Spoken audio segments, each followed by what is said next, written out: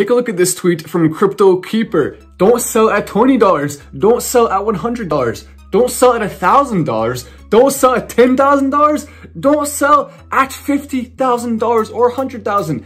500,000 or higher we go. than a picture of a gorilla putting in some hard work. Obviously an ape reference for AMC stock. Will it go all the way up to $500,000? Well, of course not. That's obviously a joke. But realistically speaking, how high can AMC stock go? Short interest change plus 0.77%. Return shares, 713,000. Borrowed shares, 1.72 million. Borrowed changed, 1.01 million. Me finally watching AMC lift off to the moon after not sleeping for months. AMC, when it hits $50 or 75 or 100 by Friday, I'm not selling. Even if it pulls back to 20 or 13, I'm not selling my shares. He owns somewhere in the neighborhood of 70, 80,000, I believe. So I can vote on my shares on June 2nd and expose the corrupt Interesting. This coming in from Wall Street Bets Elite. Then when it comes to a realistic price prediction, this is what we can potentially expect. Right here, we see GameStop stock at 241, but the all-time high of GameStop stock at its peak energy, it was all the way up to 347, which gives it a market cap of approximately 25 billion or so dollars. Right now, it's at 17.16 billion. So if it was to go back up to that 25 billion dollar range, we would see it going back up to that all-time high. But how does that relate to AMC stock? Well, I'll show you. AMC AMC stock right now has a current price of $22.43 and the market cap is 10 billion and 25. So if we were to see AMC stock going all the way up to the same market cap that GME had at the very, very top there with all that energy, AMC stock will be going somewhere around that 50 to $60 range. So a realistic price prediction for AMC stock is to go to $50. At that point,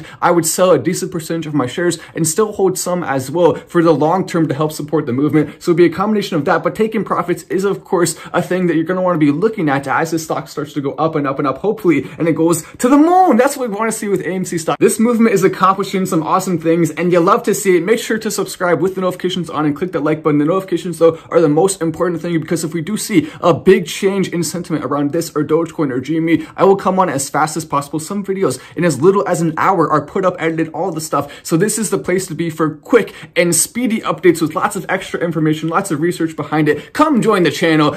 I'm Matt Wass. This is Final Stand, and I will see you in the next video.